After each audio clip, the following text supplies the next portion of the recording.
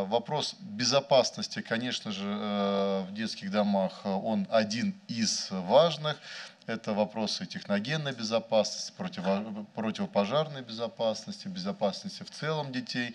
А мы понимаем с вами и видим в средствах массовой информации, что достаточно часто возникают те или иные скандалы, которые заканчиваются возбуждением уголовных дел. Ну и, собственно говоря, достаточно э, много э, вопросов э, в детских домах связано с безопасностью. Часто сталкиваюсь с ущемлением прав детей, которые воспитываются в вот этих особых детских учреждениях.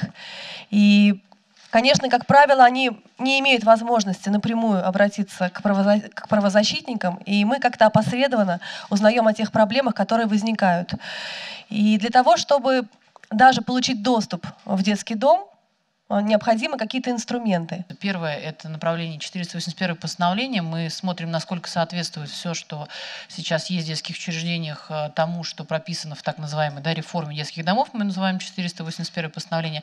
Но и самое главное, что далеко не у всех это соответствует. Понятно, мы ищем причины, почему и что, и каким образом мешает тому, чтобы это соответствовало 481 а, постановлению. Второе направление – это безопасность, как раз то, о чем мы говорим, когда что-то происходит в каком-либо учреждении, почему это происходит, почему у нас гибнут дети или что-то случается насильственного характера в учреждении. Третье направление – это интернет-мониторинг. Сейчас очень большое количество есть волонтеров, которые в интернете мониторят ситуацию, отслеживают, что происходит с детьми в учреждениях благодаря э, сайтам, фотографиям, которые сейчас размещены всегда в открытом доступе.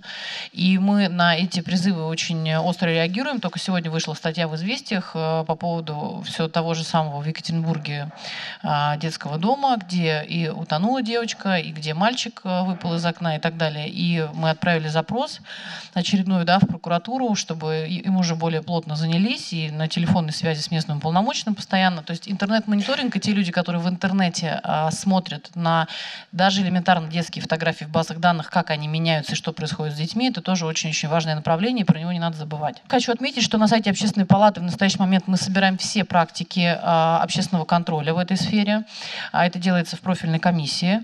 А, собираем также, будем туда выкладывать все законодательные акты субъектов, которые уже приняты по общественному контролю внутри регионов.